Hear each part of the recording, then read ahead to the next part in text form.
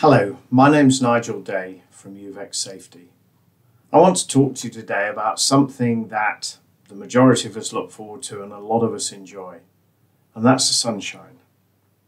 Sunshine is very important to us because it provides us with light, provides us with warmth, vitamin D for our bones, and also, let's be honest, when the sun shines, we all feel a little bit better. However, we also know we need to be careful as to how much sun we're exposed to. We're all familiar with UV radiation and the risks of sunburn and possible skin cancer. We're fortunate that the ozone layer that surrounds the Earth protects us from the vast majority of UV radiation, which is why it's critical we keep that ozone layer in good condition. But some of it does get through, and that's where we need to be a little bit careful. It's not just the skin, our skin, that we need to protect. We're all familiar with that, with needing to protect our skin with sunscreen and clothing when we're out in the sun.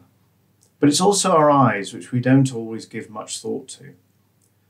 Too much exposure to UV radiation in our eyes are, has been linked to photokeratitis, which is arc eye, cataracts, and uh, macular degeneration.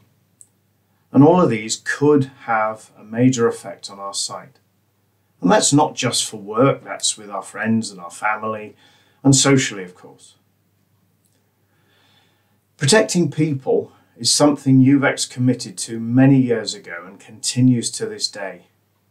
So when it comes to manufacturing safety lenses, UVEX add additional filter material into the polycarbonate to increase that UV protection right up to 400 nanometers or 100%.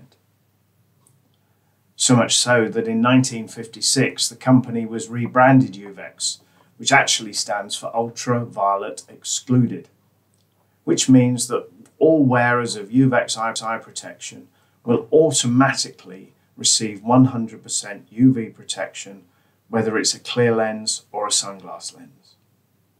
If you want to find out more, please contact me via LinkedIn on the email address below or any of your local UVEX business development managers.